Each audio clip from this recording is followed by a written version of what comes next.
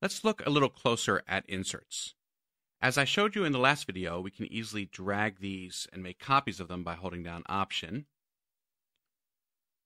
But I can also just move them around just by dragging from one slot to another, from one track to another. I can also bypass a plugin very easily with Command click.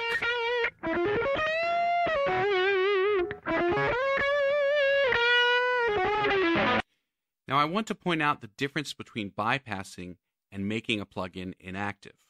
Bypassing by command clicking or right clicking and choosing bypass just simply disables that plugin for the moment.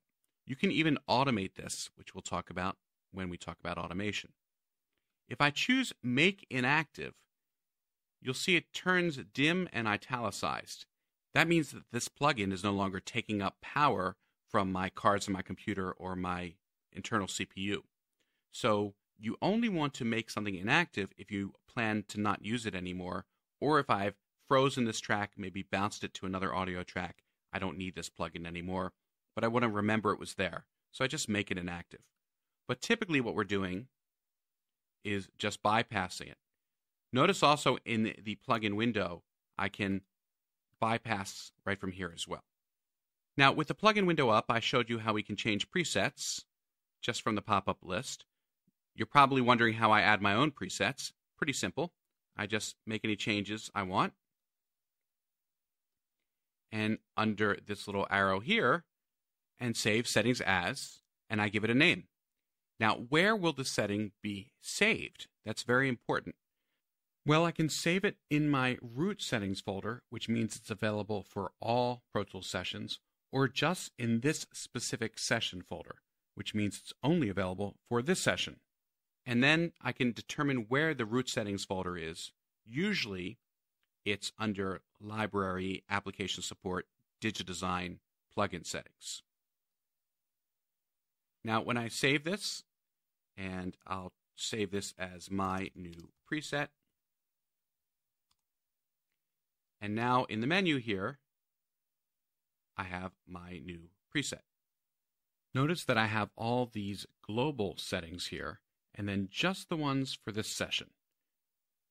Other sessions won't have these presets, only these global ones.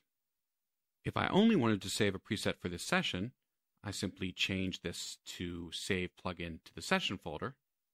I'll make some other changes, and I'll go up here and choose Save Settings As, and my second preset.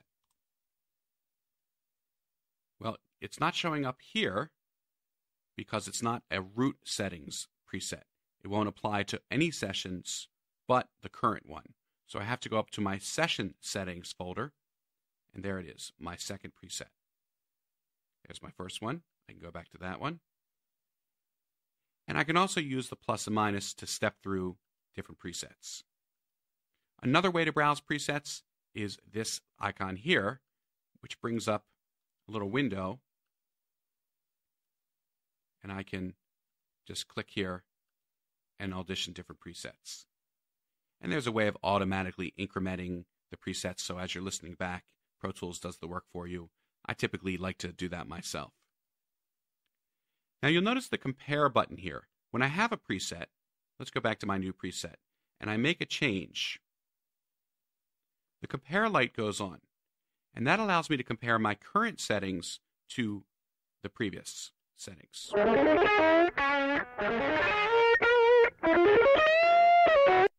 And if I like this new setting, this is italicized, which means it's not saved.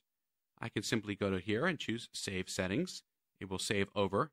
The compare light goes off. I now have this called my new preset. One last thing about this window. You'll notice over here I have track information. I can switch easily to a different track, to a different insert, anyone from A to J. And right from here I can add an insert.